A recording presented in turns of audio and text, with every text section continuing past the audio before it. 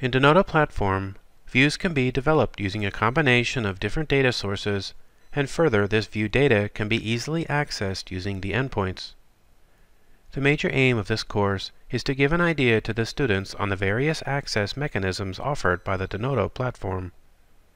We will discuss the access techniques related to JDBC, ODBC, RESTful Web Services, OData, and GraphQL.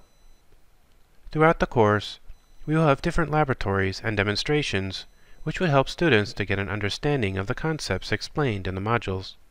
In the initial part of the course, students will get an overview of the different access mechanisms such as JDBC, ODBC, ADO.NET, OData, GraphQL, etc., and this will be covered in the Northbound Connections Overview module. In the next part of the course, Students will get an in-depth idea on the ways views can be accessed using JDBC and ODBC interfaces. Denodo Platform is bundled with the JDBC and ODBC drivers in its installation, and these drivers can be used to connect to the Denodo platform from different applications. The link to the training material is highlighted in the slide. In the final part of the course, students will get an idea on how the endpoints can be consumed in web applications using the RESTful, OData, or GraphQL endpoints.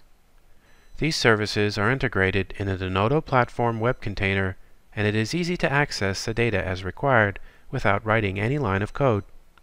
The modules covering these topics are displayed in the slide.